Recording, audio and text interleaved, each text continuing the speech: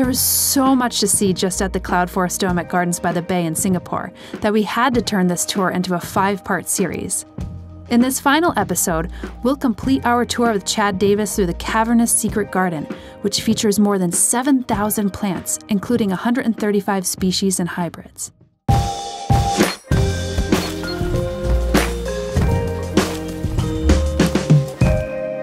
Welcome to the Secret Garden. This is one of my favorite spots. Earlier, when we walked over that bridge, um, we were just just here ahead of us, and this is one of my favorite views of the garden. Looking here from inside of the dark cave, and the way the light dances across the rocks. We've got some nice begonias down here. We've got a miniature orchid display, a chance to see some of the different tree ferns, Yeah. and uh, see the garden in a different light. You know, mad props to the architects on how to kind of like imagine how this all comes together at every different angle, you know? Yep, I'm uh, I'm impressed every day.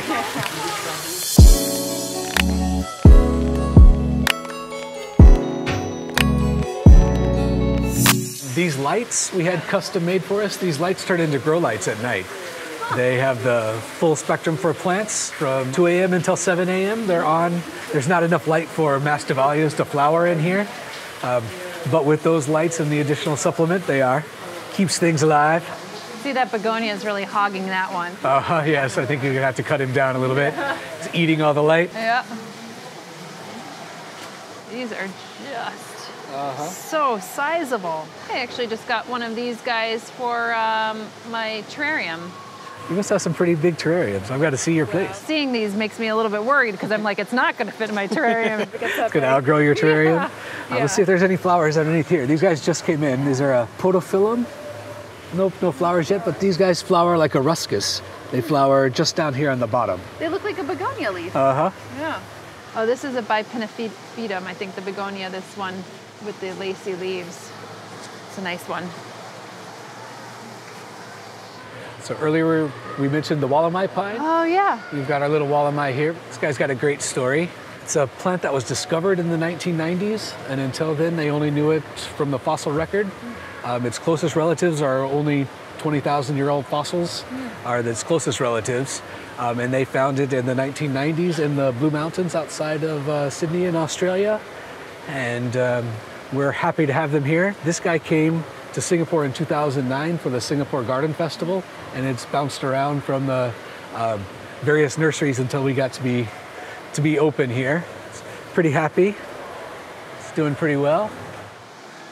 Is this another ant plant or what is this? Um, it's a melastome. Oh, it's a melastoma. Macy. Okay. Yep, melastomaceae. Yeah. Oh, a Hoffmannia. It's in the Rubiaceae. That's nice. Check out the texture of this guy. So it's a Gesneriad, unnamed, but pretty cool. This is a Solanaceae, isn't it? Pretty sure this is a Solanaceae. Solanaceae, all right. It's got a great foliage. yeah, Nice and black and dark. yeah. Blends are- well with these guys. These things are uh, spider mite heaven, but I don't think you get as many spider mites here in Singapore as we do in the Northeast. Uh, we get our share. oh, these are the, the brown spiderwort, I think. Uh, these are very easy to grow. Excellent house plant right here. Here's some more of our podophyllums. Any flowers? Oh, yeah, here, here's some, some fruits. Got some fruits, but no Yeah, flowers today. Yeah, yeah these are um, native to the Northeast. May apples. Yep. Yeah, Yep. Understory in the forest. yeah, you could harvest them. What is this? This looks like another Hoffmannia, but it's not, is it? Um, you've got a, uh, a flower bud down below. Does that give you any clues? No, it doesn't. Because I've never seen my Hoffmannia flower, unfortunately. this looks like a Paraceae. Paraceae. I feel so bad. No, it's okay. You can't you can't know them all. I don't know them all. I'm just guessing. I'm throwing it out there and I'm hoping one of them is, is true.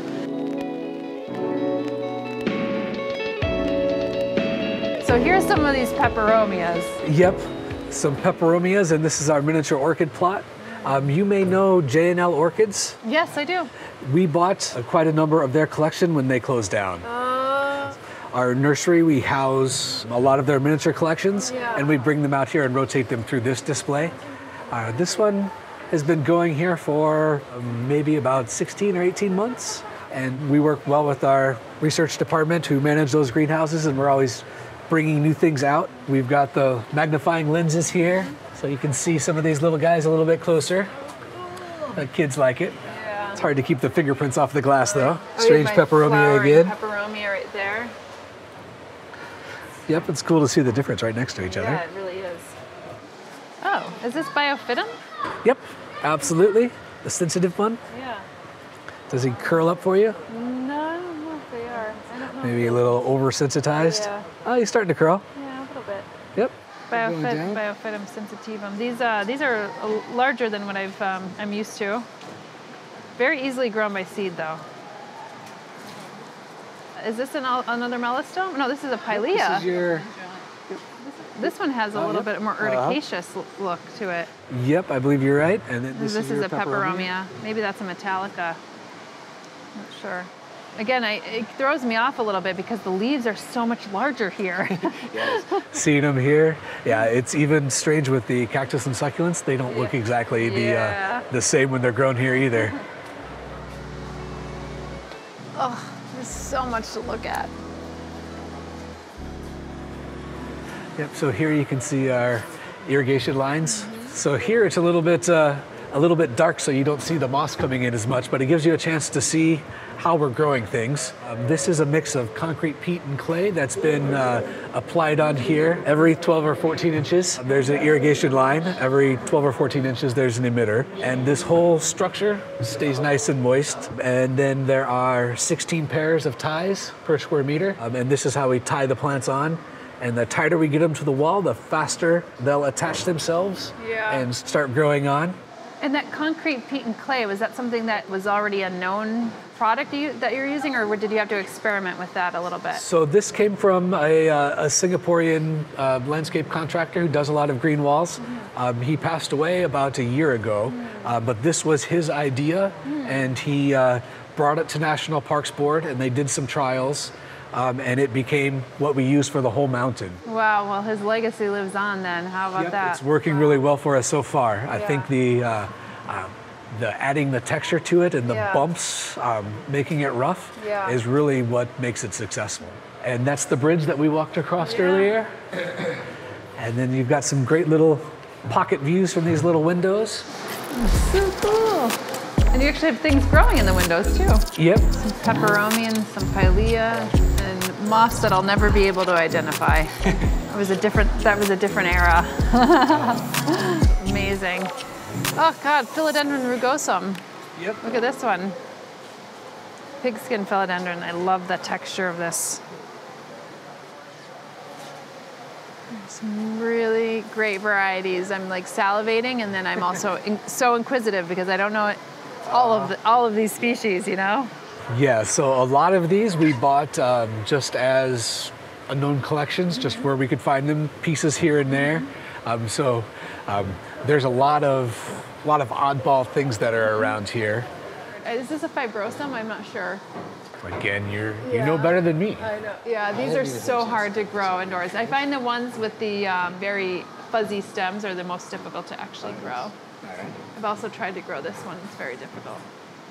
It's challenging, but you know what? I, I like to try. You know, you, you give it a shot. Um, you learn more from failure than you do from success. You really do, and sometimes it takes a little while just to get it right. Hoffmannia, I couldn't get it right for the first two times. Then after a while, I got it right. So, see this one- this one. This is probably how you'd have to grow this one in, indoors. Yeah, so this is just really remarkable. I mean, I so appreciate you taking the time to give us a little bit more of an in-depth tour here because there's so much to take in. There's so much that it's it's easy to gloss everything over, but to dive a little bit deeper and see what you're growing and how this is maintained, it's just such a special moment. So thank you so much. It's been my pleasure. Thank you very much, Summer. Thank you. This may have been a five part series touring the Cloud Forest Dome at Gardens by the Bay, but I feel as if we only scratched the surface. Videos like this get made through the help of supporters like you. So if you dug the tour, then support the channel by hitting the subscribe button and tell me what you liked the most about the field trip in the comments below. And remember, you could follow along on my blog at homesteadbrooklyn.com, my daily journey on Instagram at homesteadbrooklyn, and if you're keen on increasing your indoor gardening IQ, then you may want to check out the recently released Houseplant Masterclass. The first comprehensive online course on houseplant cultivation, care, and maintenance at houseplantmasterclass.com.